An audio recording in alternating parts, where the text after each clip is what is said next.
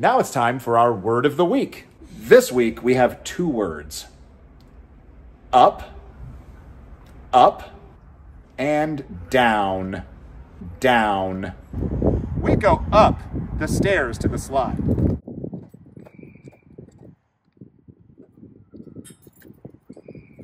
We go down the slide feet first.